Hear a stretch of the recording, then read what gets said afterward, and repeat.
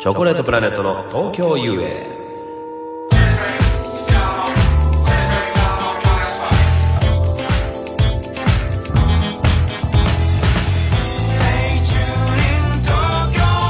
どうもチョコレートプラネット長田です。松尾です。さあ始まりました。毎週月曜深夜2時から30分間お送りしております。チョコレートプラネットの東京遊泳9回目の放送でございますけれども、まあ前回ねはい。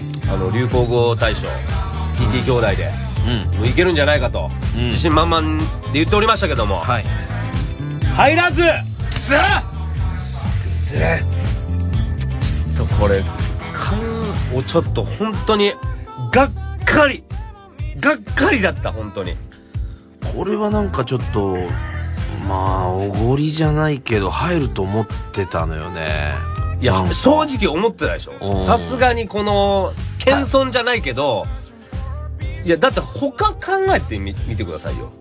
でなその言うたらお笑い系で流行ってるのってないじゃないですか。うん。今年。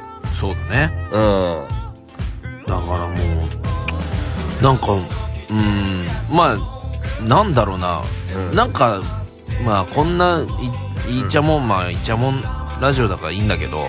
イチャモンラジオ。ね。まあまあ我らはいちゃもんラジオだからだけど毎年さその流行語大賞ってさ、うん。なんかこのえこれ流行った？とかさそういうのがまあ入ってる話題になっったりするじゃん。入ってますわな。うん。今回なんかまあラグビーが5つ入ったりとかさ、うん。あれだけどさなんか入るべきものが入ってないような気がしてならないんいやだよね。そうなんですよ。煽り運転とかそう煽り運転もなかったですし。なんか、うん。ラグビーであんなさうん。聞いた街中でラグビーは流行ってたし、うその一個のトレンドとして、うん。その上がったかもしれない一個うんワードとしてね、でも流行るってなるといや5個もさいろんなもうラグビーでいいじゃん。そうラグビーでよかったですよ。うん。ラグビーでよかったですよ。ラグビーワールドカップとかだったら。ワールドカップ入ってなんまあワンチームとかですか？ああそうだね。うん。あれはまあまあまあ。まあまあそこら辺ですか？いやそんなそこまで入れますかねって。ほんでいやだからなんかもう一個その言われてたのが、うん。これもう TT 兄弟の関してネタのことに関してなんですけどもうずっと言われてたのがその TT 兄弟としていや流行語大賞入ったら消えるみたいなこと言われてるじゃないですかジンクスがあるから、うんうんだからまあ取らない方がいいんじゃないかみたいな、うん。ね。もう言われてましたけど、違うんですよ。そういうことじゃないんですよ。うん。分かってないんですよであのツイッターでも TT 兄弟面白くないからやめた方がいいですよみたいなのね。うん。でチョコレートプラネットはコントが見たいんですとかうん。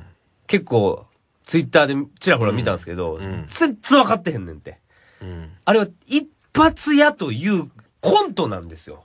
そうね。TT 兄弟という一発屋というコントでやってるんで、うん。その一発屋っていう人らはどういう流れで一発屋になっていくかってなったら、まあ流行って、ツイッターとかで、お笑いフリークみたいな人につまんねえとか、ちょっと言われながらも、芸能人がちょいちょいやり、うんそれで、流行語大賞に選ばれて消えるという、うん王道のライン。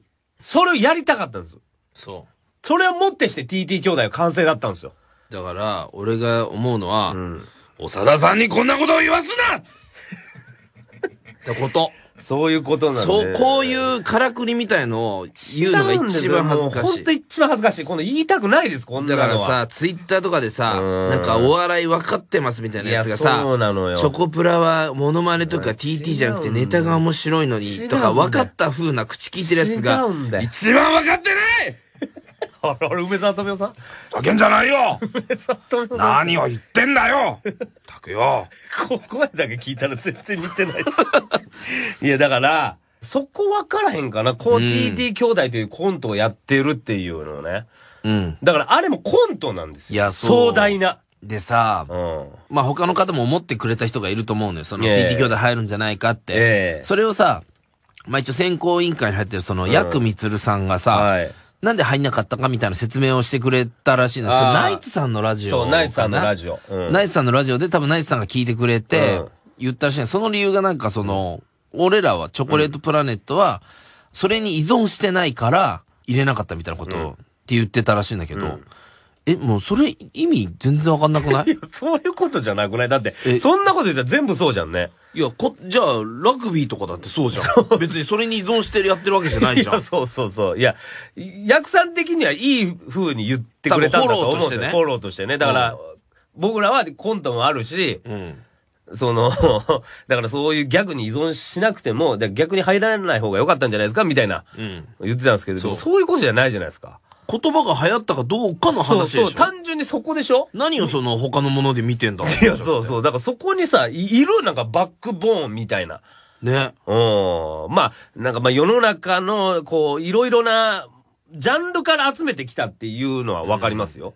だから俺らが耳にしないことでも政治とかビジネスのことに対して流行ったっていうので、まあ拾ってくるのはあるんですけど、うん。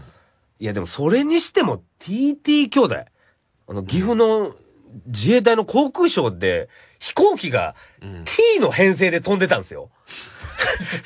T の、T の編成でさ、すごいさ、ぐわーって向こうから飛んでくるんですよ。うん。そしたらそのアナウンサーも自衛隊の人ですかね。多分わかんないですけど、ねそういうの人が、見てください。T の形が飛んできましたよ。T、T、T、T、T、T、T って言う。そんなことある？いや、もう自衛隊の人がやったらもう本物よ。本物でしょ、これ。うん。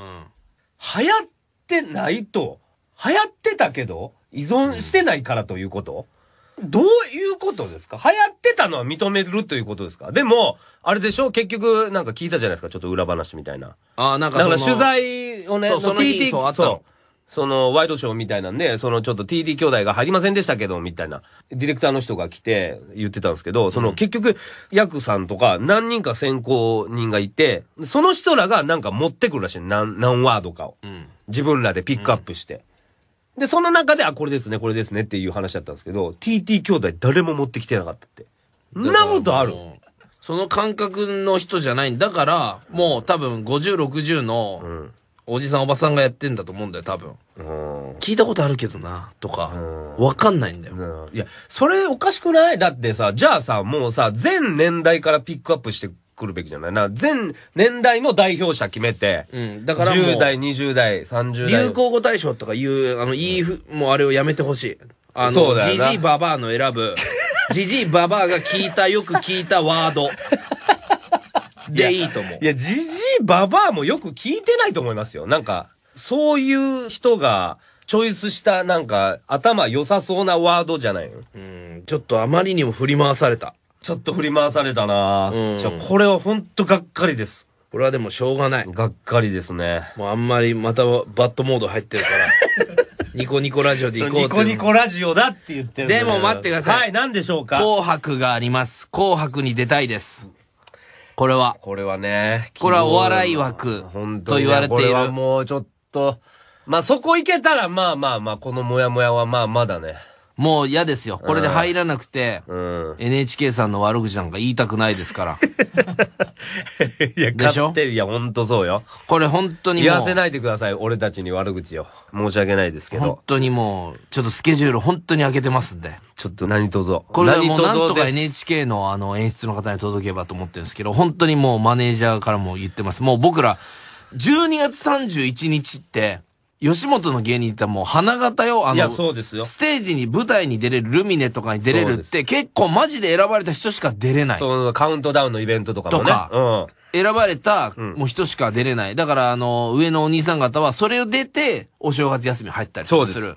それが出れるか出れないから全然変わってくる。で、全然違います多分今年俺らもしかしたらそこ、出れるぐらいそうです。のあれをしたのいや出れるでしょ、それは。だけど、うんもうマネージャー紅白があるかもしんない、リハがあるかもしんないで、もうがっつり開けてる。これで出れなかったらもう、もう、怒り狂うよ。ああ。自分らで勝手に開けてさ、勝手に入らないで切れる。そんなことしたくないじゃん。そんなみっともないこと。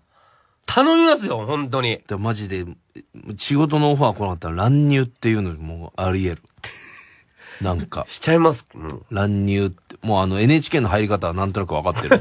いや、じゃあ、だとしたらもう入れないですよ。あそこで名前言わんと、書 くあれで名前書いて。書いて書いて、そこのリストにないと入れないんですから。でも多分なんとかいけると思う。多分、でもいき、あれだと思うんで、多分もう大丈夫ですっつって、なんかふわーっとして。どういうことですか？ちょっとお待ちください。で、一回じゃあ、あれして、もう始まるま、待つ。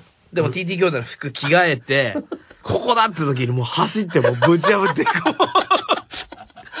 あのゲート。ゲートあのゲート、まあまあ飛び越えられなくもないわう。な。、で、警備員さん見たことある？あるあるある。みんなおじいちゃんなんだよ。うん、絶対勝てる俺の。でしょ？俺のショルダーアタックで全然ぶっ飛ばせる。俺でもいけるよ。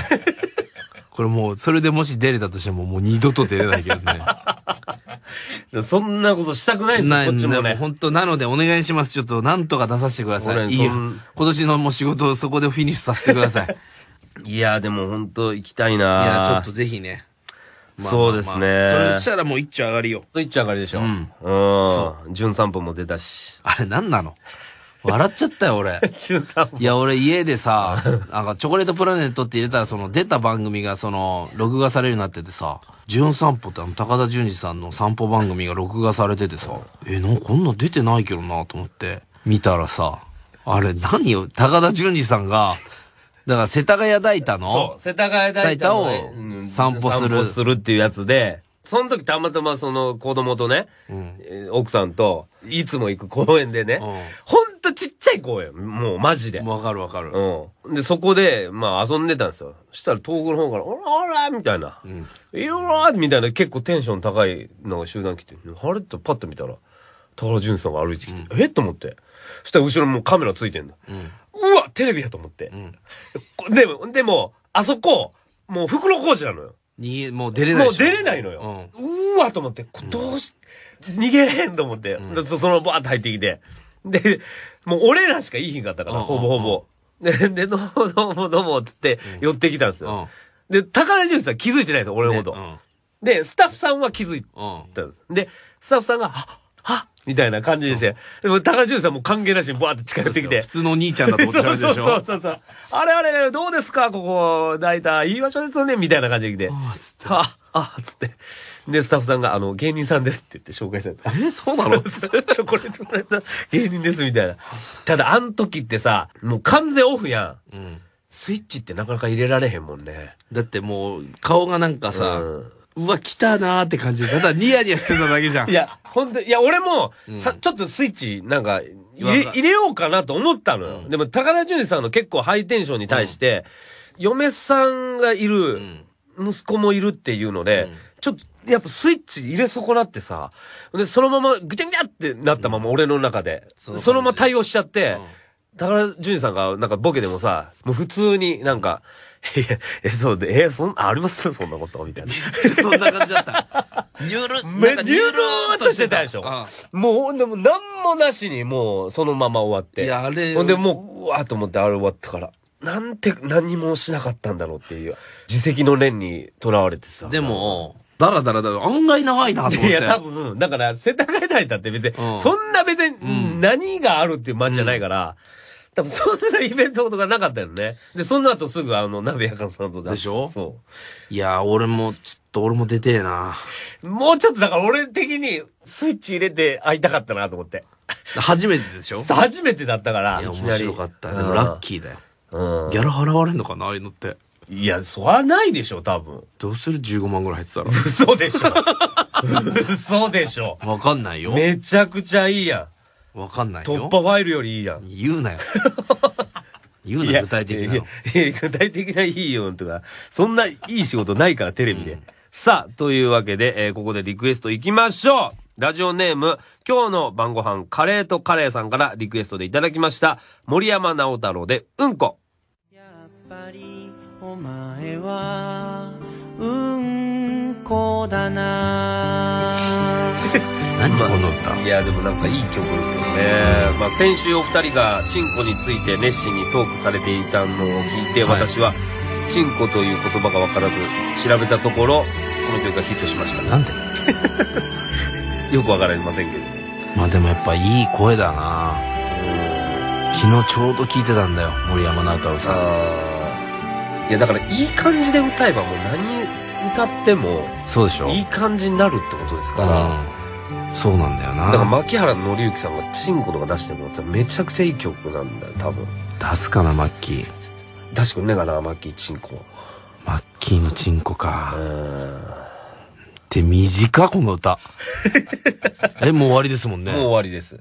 なんだよ。まあまあ、リクエスト、えー受け付けておりますので、どしどし送ってきてください。はい。さあ、それではここでコーナー行きましょう。おちんぽ、もしゃもしゃのコーナー。出た。さあ、このコーナーは、童貞男子リスナーのおちんぽをもしゃしだ絵をはがきに書いて送ってもらうコーナーです。ということなんですけれども、届いてますか？届きました。さあ、届いたんですけど、ちょっとなんだ、怖っ。ちょっと待なんかって、。なんかさ、始まる始ま前にる前に、すっごい、なんか、作家の子とかスタッフさんがみんなもうなんか嫌な顔をしてたんですよ。やばいですなんかこれは、えー、今見せといた方がいいのかなみたいな。これどうしちょっますとプチ会議みたいなのが行われてて。相当やばいのが来てますっていう話を聞いて、今ここにいるんですけれども、はい。あのー今ね、はがき横からもらいましたけれども、うんえー、はがきってこんな膨らむもんですか？なんかね、わかりませんけども。なんか一枚何枚か一番上のやつが一枚の上のやつがね、膨らんでるんですけど、はがき膨らむって何それ見よめっちゃ怖い。う。なんかラジオネーム書いてある。えーっと、ラ、えーペンネーム、えーブーメランチャンネルさんからいただきました。うん。これどう見せよう？じゃあこれ、せーので見ようか。せーので見る。せーの。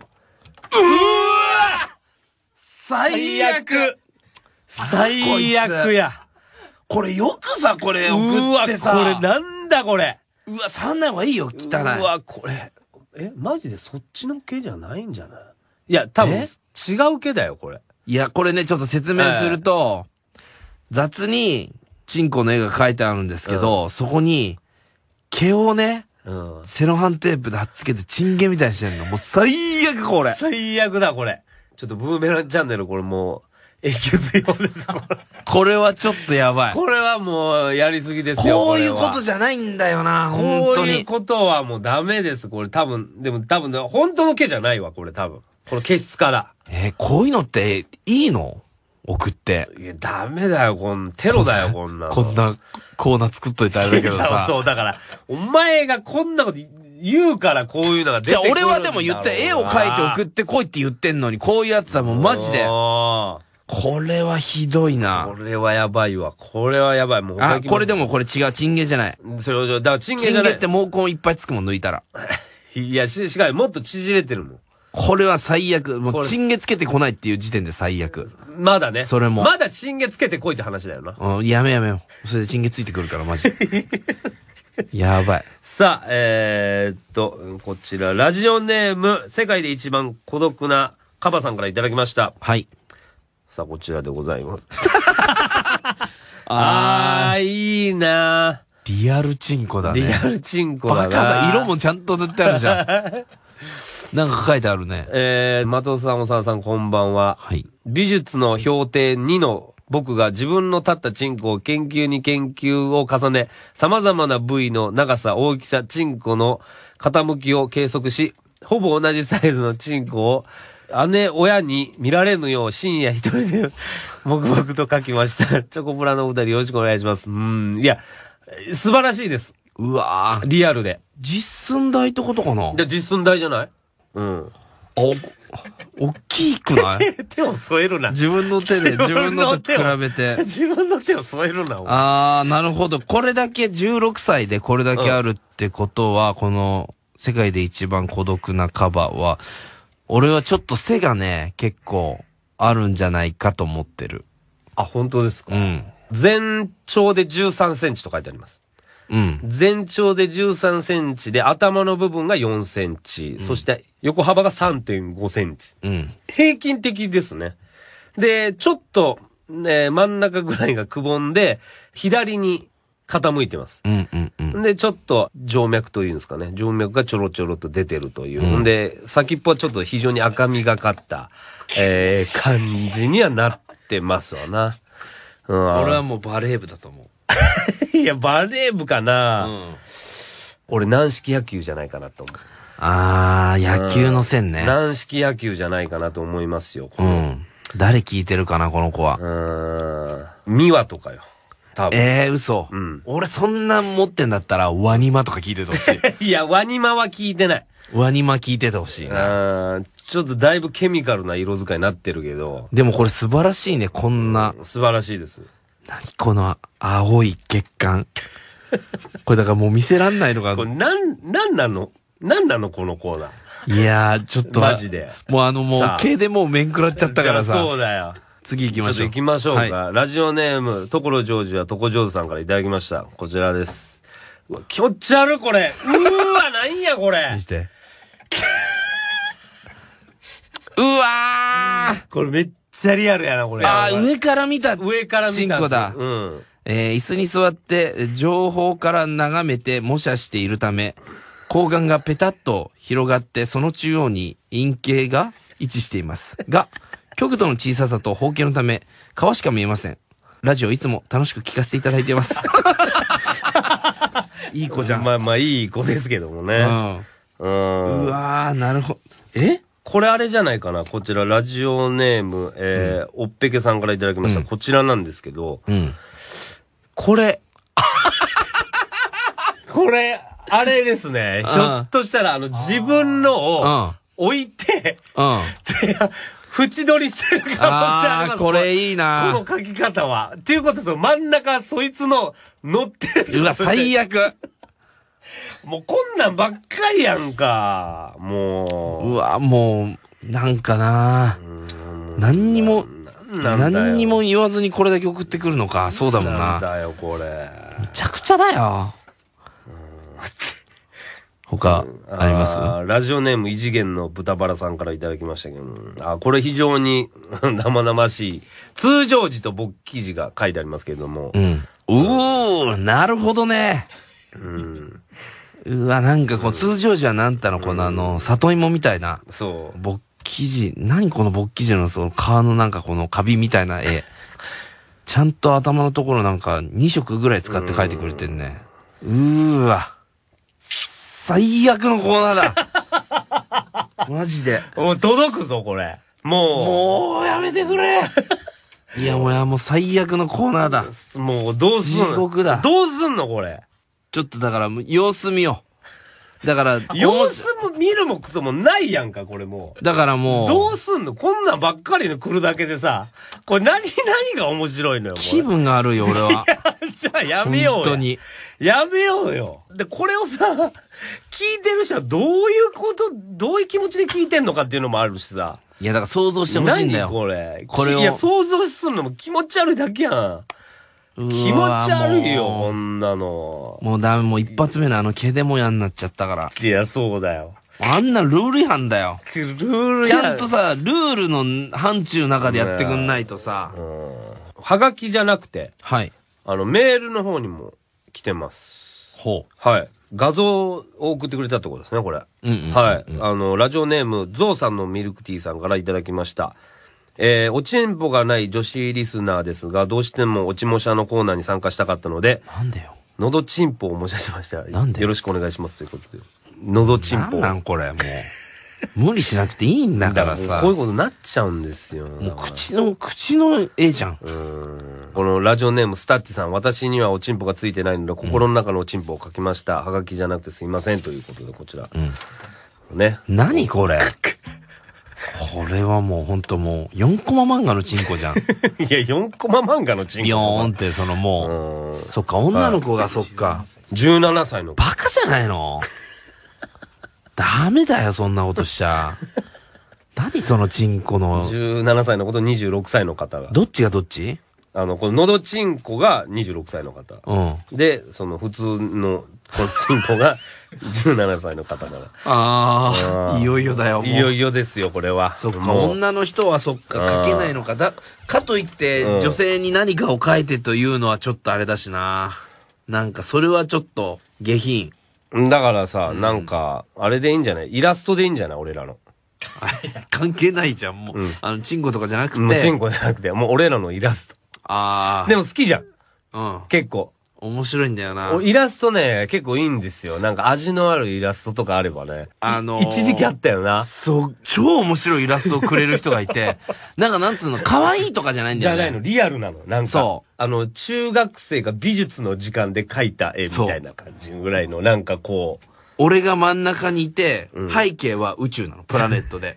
で、その俺の大きい、普通のシンプル松尾の周りに、いろんなキャラクターの松尾がいる 絵をはがきで送られてきたことがあって、俺それだけは撮ってたのよ。面白かった。あれ面白かったいや、あよね。れね、年一で見たくなるのよ。そう。あれみんなで見て、ゲラゲラ笑ってたの。めちゃめちゃ面白いのよ。絶妙なタッチなんだよな。そう。たまにさ、何なんだろうね、その絵を描いてくれるっていうのはもう、よくわかんないんだけど、その行為自体が。女の子好きだよね。きじゃん。でもさ、言ったら、正直言っちゃうとさ、もう、迷惑じゃん。いや、別に迷惑いらない。いらない迷惑でもない。自分の絵が描かれたものをどうしろって言うんだって話なの。いや、まあ確かにね。そう。だけど、たまにツボついてくる面白い絵のタッチのやつがあるわけ。あります、あります。それはね、たおまに見。前も描くやん、似顔絵すぐ。うん、俺も描いてるからね。すぐ描いてんじゃん、お前。まあ、サイカーの顔。で、俺も NBA 選手の、うんあの、絵とか中学校の時描いてたよ。うんで、雑誌に送ったりとかしたけど。送ってんじゃねえかよ。まあだから女の人はもうちょっと難しいと思うんで、なんか、絵送りたかった？らなんか、いやだからこのラジオに関しては送っていただいて。あ、だから、、味イラストのコーナーでいいんですか？味イラストのコーナー？味イラストのコーナー。だから俺イラスト送られてきても伝えづらいんだよな ラジオだから。なんでそのイラストのコーナーをやろうと思ったの？いや、だから、チンコのなんかをやりたかった。チンコに特化したコーナーをやりたかったら、こういうこと特になっ化したコんだよ。ーナーがイラストになっちゃうんだよ。参ったなぁまあでも来ますよ、これ、まだ。当分はやらない。やらねえのか。やらない。やマジ何枚何枚か溜まってからにしましょう。何枚する？で何枚にするっていうの ?50。めちゃくちゃためんね。10とかじゃもうやらない。50。とりあえず50。もけモンスターコーナーじゃん、こ。で、また50溜まった時にまた様子見ます。やりますから。ははいい。以上、おちんぽもじゃもじゃのコーナーでした。えー、それでは皆さんお便り送ってください。メールアドレスはすべて小文字で、chocopla アットマーク joqr.net チョコプラアットマーク joqr.net までよろしくお願いします。はいさあ、そろそろエンディングでございますけれども、はい。ちょっといろいろ問題ありましたね、今日は。うんちょっと一回整理しないと。方向性もむちゃくちゃなってきてるよ、なんかもう。何何がしたいんだ、このラジオは。一体全体。でも本当ダメ。もうちゃんと、一回その、ちゃんとしよう。一回ちゃんとしないと、一回整理しないとダメだ。うん。うん。でも、多分俺らその長いコーナーをずっとやっていこうなんて多分思わない。飽きちゃうから。飽きちゃうからね絶対俺らの性格。うんだから、こういう風にこういう単発のパスパスパスパスやっていくっていう。思い出した頃にまたやればいい。うん。で、あの、ちょっと冒頭でいろんな、ね、またガミガミ言ってしまいましたけど、うんダメ。本当に。結局ね、もう本当にもうニコニコラジオです。本当に。チョコレートプラネットでも、このね、リスナーの方が聞いて、なんか月曜日ってなんかちょっと重いじゃないですか、気分が。うんだその気分をパーッと晴れやかにして、あ、今週頑張ろうと、そう。って思える、そういうラジオにしていきます。そう。本当にそうしていきましょそうしていきます、このラジオは。う。はい。次回の放送は12月2日月曜日深夜2時からになります。ぜひお聞きください。以上、チョコレートプラネットの東京遊泳でした。おやすみなさい。